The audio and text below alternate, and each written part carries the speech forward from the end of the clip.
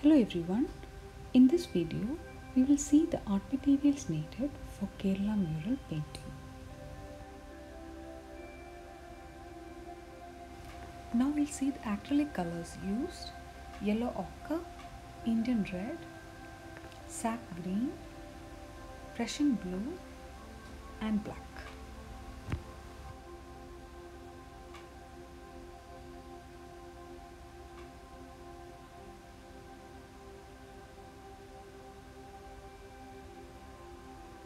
These are the different brushes used in Kerala mural painting. The flat brush, the point rounded brush and the liner brush. Now we'll see the canvas used in Kerala mural painting. You can use either an A4 or an A3 size canvas to begin with. These are some of the optional items required while doing the painting.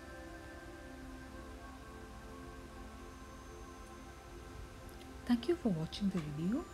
Hope it helps and have a nice day.